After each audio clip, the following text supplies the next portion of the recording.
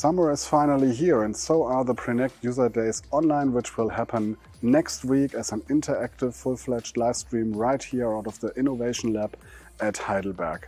You can expect a lot from this live stream. We will present you all about our upcoming cloud strategy, our Prinect app strategy.